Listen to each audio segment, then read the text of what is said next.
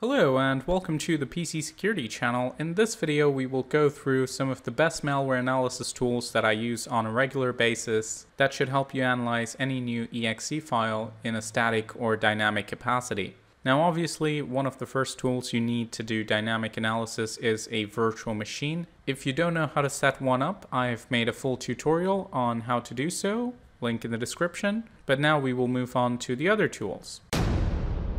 One of the first tools we'll be looking at is Process Explorer. This is part of the sysinternal suite, which is now maintained by Microsoft. It's an excellent tool to get information about any system at a glance very quickly. As you can see, it shows us all the process running on the system currently, the amount of CPU and RAM that they're using, a description, and the company name listed. They also have a fancy plugin where you can see the VirusTotal results for each of the executables, now I have that enabled. In order to do the same, you need to go into options, VirusTotal, check virustotal.com, and you can also submit unknown executables so that everything gets scanned. Now, apart from obviously giving you this data at a glance, you can also look at a process specifically by double clicking on it, and this will tell you a lot more. So you can look at the path, the command line, auto start location if it has one, and then you can look at the details of performance, graphs, disk and network. You can also look at threads,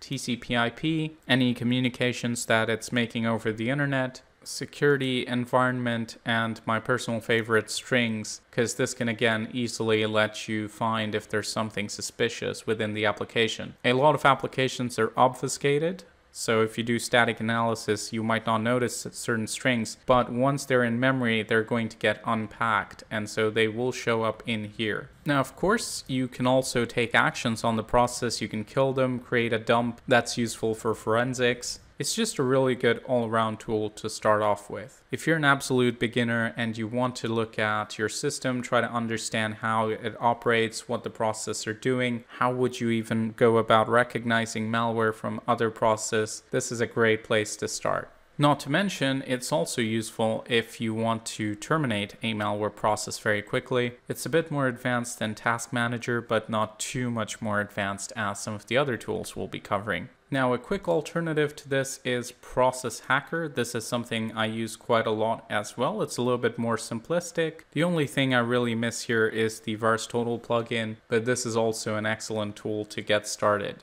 It has the same functionality with regards to allowing you to view strings, modules, and all that good stuff. Now, one of the simplest tools that you can use is autoruns. This is again part of sysinternals, and as the name suggests, all it does is give you a list of every single program that runs at startup for a given system. And this is very useful in finding malware. And just like Process Explorer, it has a VirusTotal plugin, so you can very quickly see if there's a malicious process that's running on startup on any given system. Very useful for quick diagnostics if you want to quickly tell if there's some malware that's loading on a system, this is probably the easiest way to do it, and it's much more extensive than the startup list that you get with Task Manager. So definitely recommend having this in your toolkit. Another amazing tool, which is a little bit more advanced but a must have for doing advanced malware analysis, is Process Monitor. As the name suggests, it allows you to monitor process and see exactly what they're doing, not just in terms of how much CPU they're using and what they're running, but all the instructions that they're passing to the operating system essentially. As you can see here, we're looking at registry queries, attempt to create a file. So it shows all the operations that the process is doing along with the path and the result, whether or not it was successful. And then if we want to look at any specific event, we can go into process, stack, and this can even allow you to trace actions to their origins. Now if we turn on auto scroll, as you will see, there's a lot going on on a system at any given time, even if you're not doing anything. Like this is an idle system with no programs open with the exception of Process Monitor and Process Explorer, but as you can see, we're overwhelmed with data. So one of the biggest skills when it comes to using Process Monitor is the use of filters.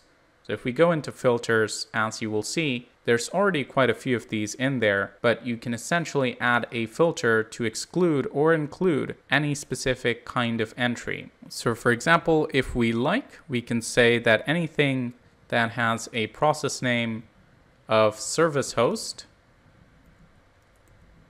which is svc host, is then excluded. And what this will allow us to do is get rid of that specific process. So if we go ahead and apply it, you will see that the SVC host entries are now gone. That's just a quick example, but there's a lot you can do with filters. It's a very powerful application. You can also change the types of activities that are shown. So for example, you can just remove registry activity if you're not interested in that, or you can get rid of file system activity and just look at registry activity, whatever you want really. I wouldn't say this tool is very useful out of the box. It's not like if you're a beginner and you open this up, you're going to get some magic revelation. But if you learn to use it, it can be very useful in looking at very specific types of actions. If you know what you're looking for, this is exactly the tool you want. Moving along, the next tool we'll look at for dynamic analysis is Regshot. This allows you to take a snapshot of the registry before and after any malware execution event and also scan every directory within the path that you specify. And at the end, it just spits out a log that will allow you to compare the changes that were made within the time frame.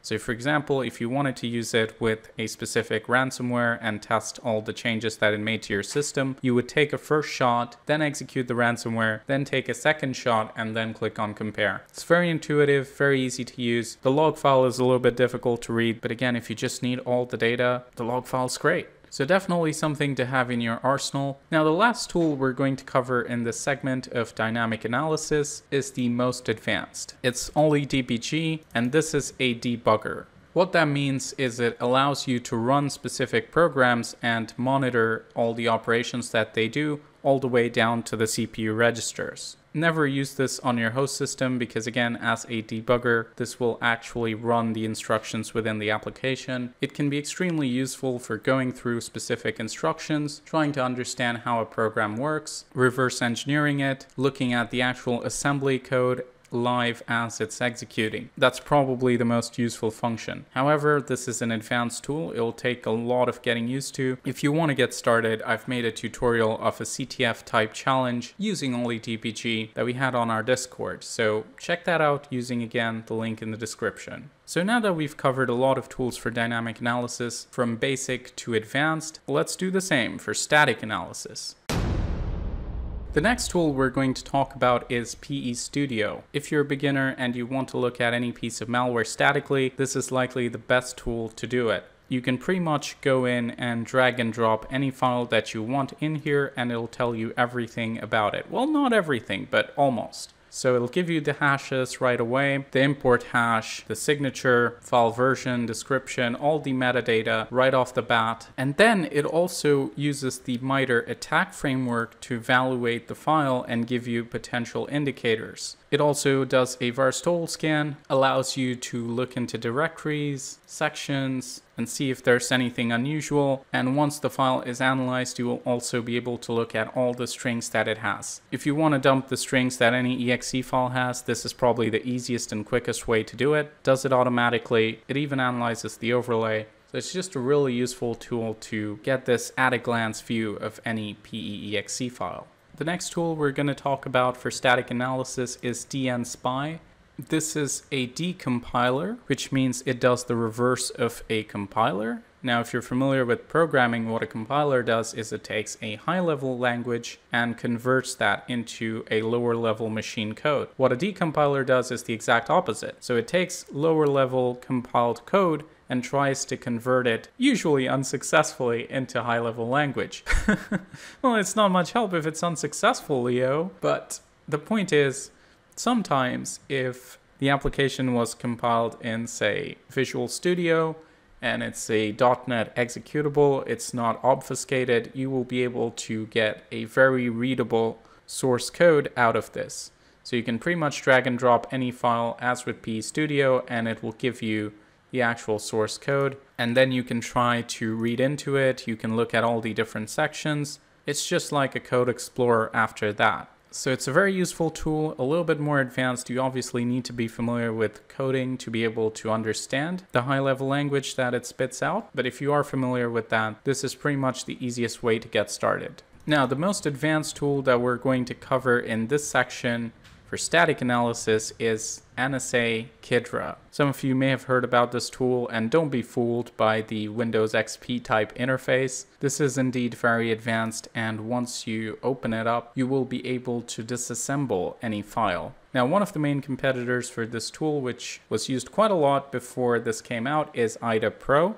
Now, I personally still think that IDA Pro is probably a little bit easier to use, but a lot of people do prefer this. Plus, this is free, where IDA Pro is a paid program. So if you want to get into disassembly and you want all the power, I think this is as far as you can go when it comes to free tools. Of course, reading assembly is no easy feat, and you will have to be familiar with all the assembly level instructions, the structure of the files you are trying to read, and knowledge of how to use this application. The skill ceiling here is very high. So if you're just getting started, probably not the ideal tool, but if you're an advanced researcher, definitely worth looking at. So there you have it. Those are some of my favorite malware analysis tools. Let me know yours in the comments below. All of these are free, by the way, so if any of you are interested and you want to learn more about cybersecurity, you want to get a start doing things like this, feel free to check them out. A big thank you to Emsisoft for sponsoring this video. Please check them out using the link in the description. Also check out the PCSecurityChannel.com and if you're a business and you'd like to work with us, there's a lot of stuff we do. We can help you evaluate your cybersecurity readiness, make sure you choose the right solutions. More details on the website.